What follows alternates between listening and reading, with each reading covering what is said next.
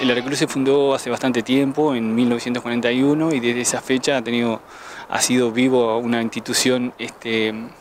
que ha colaborado con el medio, pero aparte se ha munido de aviones y en este caso, ya mucho, muchos años después, cuenta con tres aviones, los aviones este, están en todos en orden de vuelo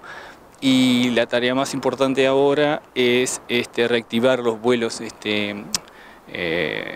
para, el público en general, pero básicamente la escuela de vuelo con el avioncito chico en Cessna 150, eh,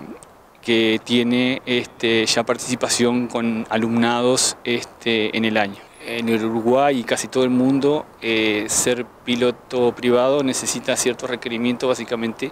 principalmente una edad mínima que son 18 años para arriba, haber terminado el ciclo básico eh, en, los estudios, haber este, eh, hecho un psicofísico que es una especie de carnet de salud un poquito más avanzado pero con muy poca cosa más que se da en la, institución de medicina aeronáutica que se, que se, aprueba ahí y te da el breve, el famoso breve de, alumno piloto y posteriormente hacer un curso que nosotros estamos brindando acá con unos dos profesores que vienen de, de Durazno, que son este, instructores recibidos y pilotos profesionales. El curso dura por lo menos 40 horas de vuelo, más un teórico que te lleva más o menos un año, un año y medio, a veces un poco más, prepararlo. Eh, y bueno, y una vez que los, este, las personas se reciben, eh, la única condición es,